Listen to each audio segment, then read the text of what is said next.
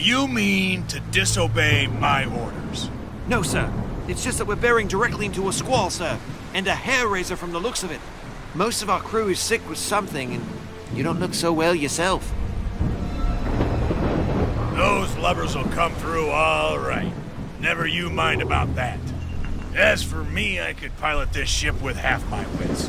We've got to cut through that storm to avoid the German warships patrolling the straits. What warships? We've received no reports that I'm aware of.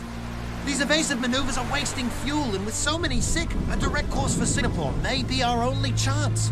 Fifteen ships lost this month. All in the East China Sea, sir. None this far south. Otto's out there, sure as I'm the captain of this vessel.